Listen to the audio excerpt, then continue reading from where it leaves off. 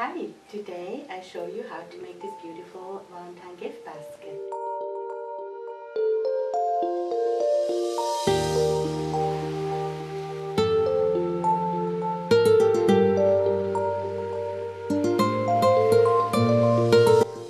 So here is a, the red basket. Actually I had a very plain, I bought a very plain red and then I added with this little um, sheer uh, ribbon a layer right here around and glued that or put a little bit hot glue actually on each end and added a little tiny bow in the front with the uh, red ribbon.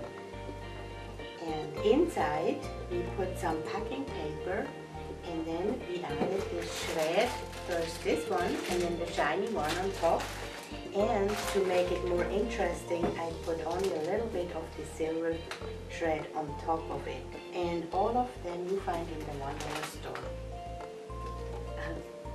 so this is the bottom from the fondue, from the um, chocolate fondue. So we put that in the back and always start adding the big items in the back of the basket.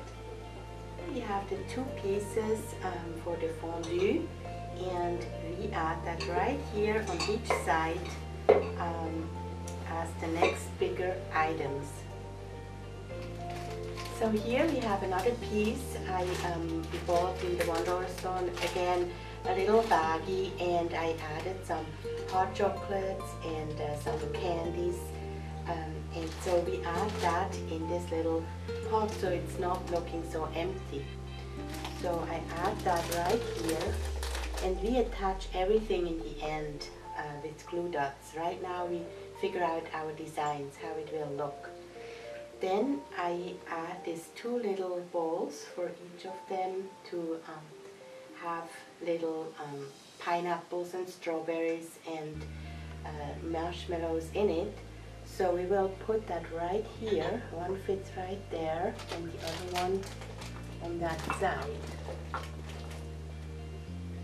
So now we added also some um, chocolate and some cookie things and some marshmallows what they can uh, dunk into chocolate.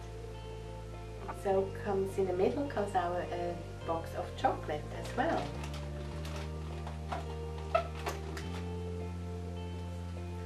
And so now we have also two very fun marshmallow roses but they can dunk in the chocolate. So we add that and we will put them actually in the front.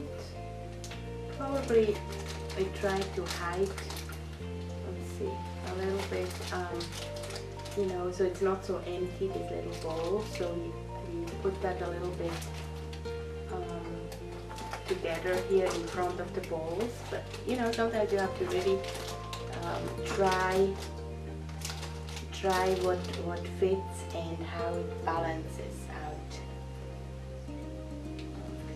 So now remember we have to um, attach each item to each other so make sure they don't move around. So for that we have our glue dots and small packages you get in craft stores and uh, we start right there in the beginning in the front there with the little marshmallow rose and and we continue and work our way up to the back.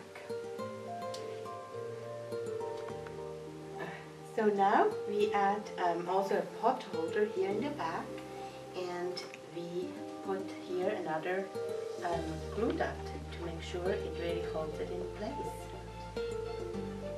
Happy Valentine's Day!